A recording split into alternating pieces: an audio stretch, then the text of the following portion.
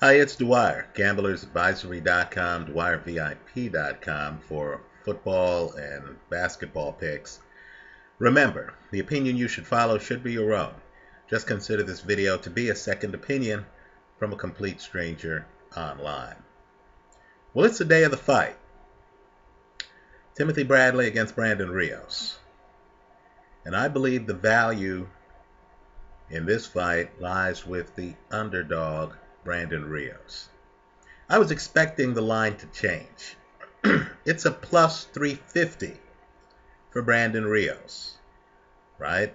Bet 10 bucks to win 35 plus the 10 you bet. What they're telling you is that if these guys fought four and a half times, Brandon Rios would only win one of the four and a half. Don't you believe it? He's a live dog. I believe he's the side of the play you want to be on, hedged with either Bradley by decision or the over. Right?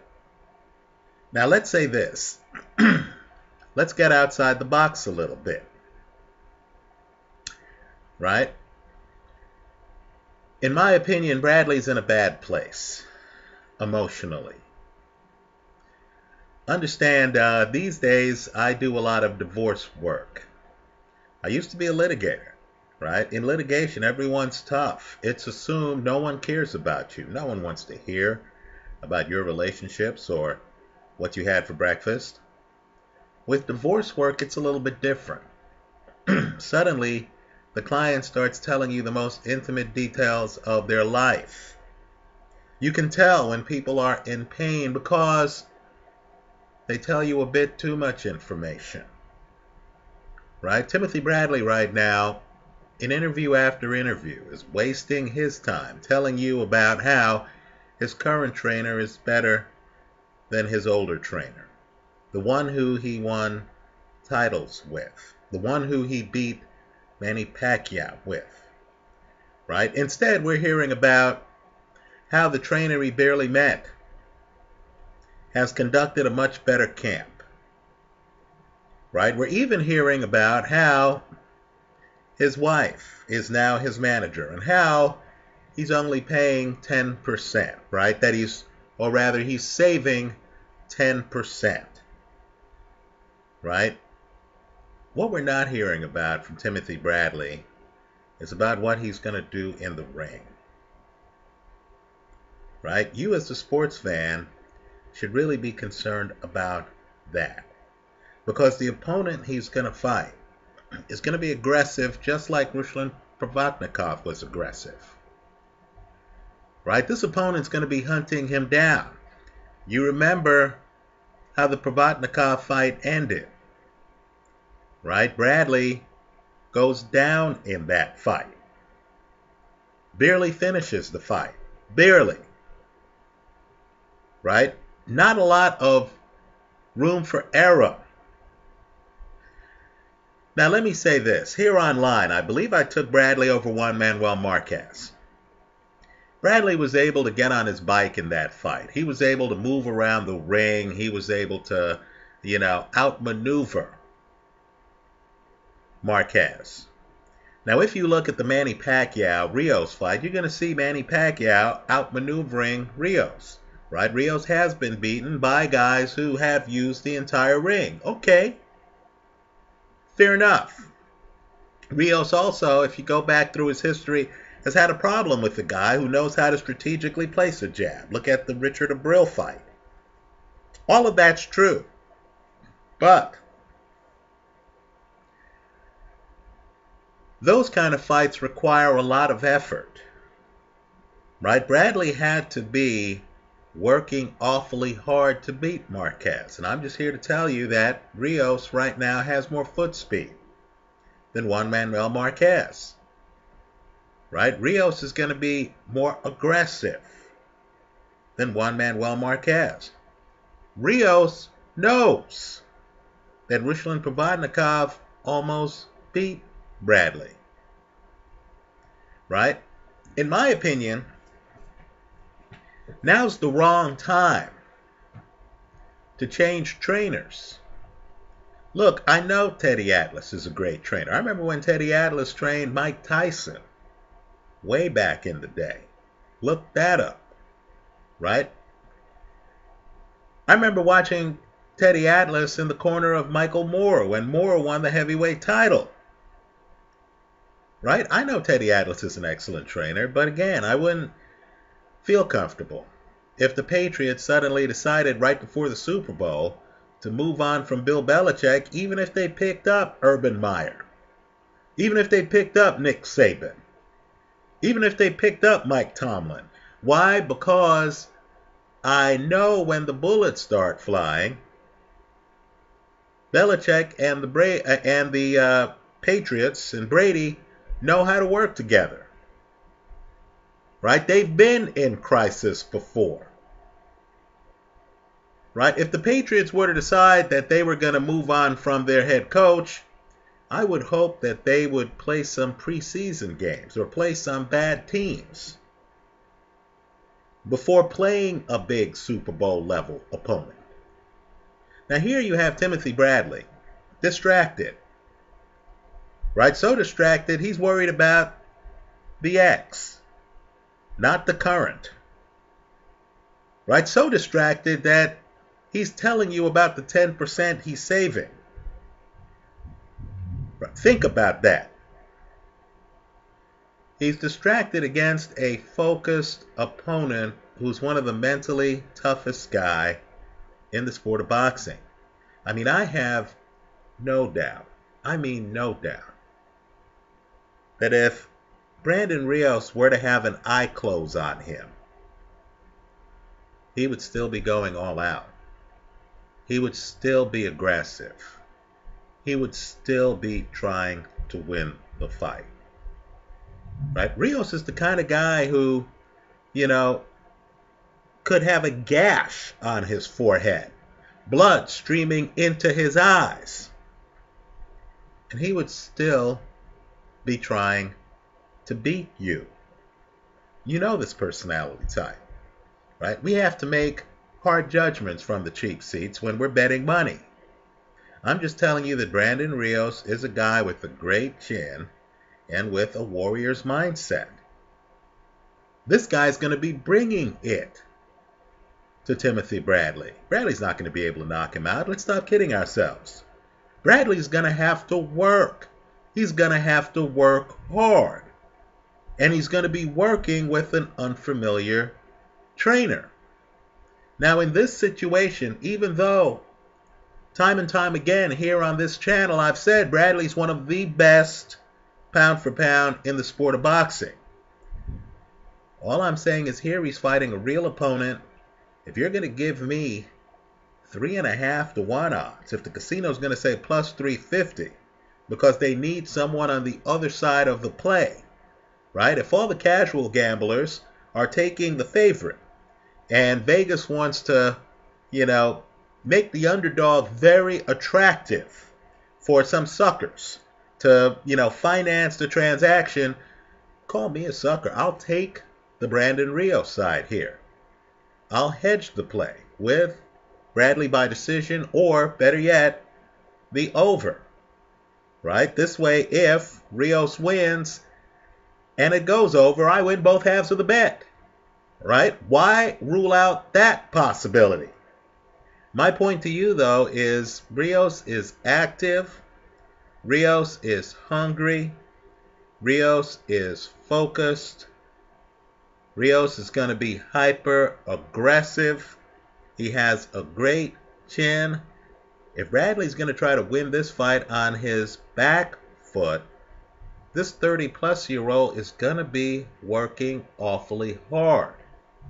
In a tough fight like this, to hear that a fighter has made a change in his corner, in my opinion, is a bit much. Let me tell you, too. I know Bradley in interviews has said, oh, my camp with Teddy is so much better than my camp with my earlier trainer. Okay, fair enough. Understand the differences scare me. Right? I don't want to hear that a team's doing it all different in preparing for the Super Bowl. right? I'm one of those who believes, hey, you've made it into the playoffs with a certain approach. You've had success with a certain approach. Let's play the biggest game of the year with the same approach. Right? To me, it's too risky to have a winning formula and then to say, you know what? Coke is popular. Let's change the formula. Let's trot out new Coke. Right? Some people are not going to like it. So, put me down on the Rio side of the ledger. Right? I see either Rios hunting down Timothy Bradley. Bradley getting confused. Bradley in the ring thinking, wow, what would my old trainer do? Oh, what would Teddy do in this scene, right? I think Bradley's going to get confused. I think he's going to be flustered. Right? If the casino's going to pay me a plus 350, three and a half times even money, sign me up. Right? I like Rios to win the fight. My only concern, right? Hedged with the over, right? This way, if Bradley wins by decision, I'm good. Right? I'm good. I've made previous videos on this fight. Check them out here on YouTube. Right? My only concern is that Rio showed up at the weigh-in 0.2 over. Right?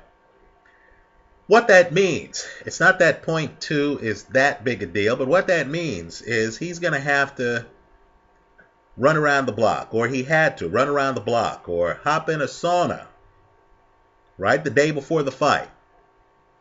That's not exactly the way you want a fighter spending the day before the fight. I want him thinking of his opponent, not thinking of the scale, right? So you should be aware of that. But let me also say it just highlights that these weight divisions in boxing are a bit of an optical illusion right? Rios is a big man. He's even big for 147 pounds. Think about that. Right? So, just understand Rios is going to be an aggressive bull, knowing that being an aggressive bull went a long way for Ruslan Provodnikov against Timothy Bradley. Right? Let me also point out, too, if Jesse Vargas was able to go 12 rounds against Timothy Bradley, in my opinion, Brandon Rios will be able to go 12 rounds against Timothy Bradley. So you're telling me that I have a guy with a great chin who's likely to go the distance against Timothy Bradley and who's likely to be the fighter on his front foot, and you're going to give me a plus 350? I'll take it. Bet accepted. Hedged with the over or Bradley by decision. That's how I see it the day of the fight. Let me hear from you. Let me also say this too. Vegas has put out a bunch of fights. Right? This fight, the Cotto fight, the Klitschko fight, that I feel are mispriced. People need to understand, though, that there isn't someone behind the curtain in Vegas who is making a decision on who's going to win the fight. That's not the way it works.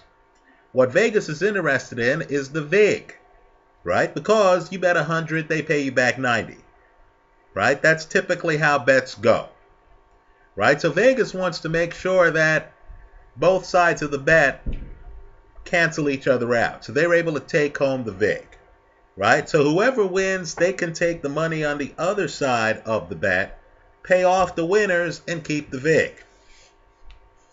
Right? So Vegas knows that you, the public, right now might be overvaluing Timothy Bradley against certain styles of fighters. Right? What's the difference between Provodnikov and Brandon Rios? Right? Both are offensive fighters. Both are in there to come forward on their front foot right? Throw a lot of hard hooks, hunt you down. There are going to be very few rounds in this fight where Brandon Rios leaves his corner and decides, okay, let me be on my back foot. Let me just be defensive. Let me just dodge back here. Let me be low volume. Those rounds are going to be few and far between. Rather, Brandon Rios, like Provodnikov, is going to come out and say, okay, the next three minutes, I'm going to go to work. Brandon Rios is not a guy who takes breathers during rounds. He's not Bernard Hopkins. This is a guy who's going to make you work. This is like a quarterback going up against a big time pass rush that's going to be there in the first quarter, that's going to be there in the fourth quarter. All I'm saying is you don't want to give that quarterback a new playbook right before he faces that pass rush. That's what's happened to Timothy Bradley. Right? Let me say this too. In my own life, right? I can tell a client is hurting from a divorce when the guy keeps talking to me about his soon to be ex wife. Right? You almost want to say to the guy, hey man, are you over her? You know, when the guy starts telling me too, too often, how much he wants the divorce, right? At some point, you want to say to him, hey man, I believe you the first time you told me. Are you sure now, the hundredth time you're telling me about this, that you want this divorce? Right? Timothy Bradley's talking about his former trainer more than he's talking about his next opponent right? For me, the red flags are out, right? I think you want to circle this fight on your betting card, right? Just keep an eye on this fight. It's 10:22 a.m. here, West Coast time, November 7th. I don't know what's going to happen in the next few hours, but let's just say what I do know is that Brandon Rios is going to enter the ring focused, ready, with one of the best trainers in the sport, Robert Garcia, in his corner. Long time trainer. Right? When the bullets start flying, Rios is going to go back to his corner and he's going to have a second set of eyes there that he knows, that he trusts, where the trust was built from years of experience together. Right? I believe the value here is with the underdog. I like Rios at plus 350. I like him at these odds. And I'll hedge the play with the over or with Bradley by decision. That's how I see it the day of the fight. Let me hear from you. I hope you leave your comments in the comment section to this video. Thanks for stopping by.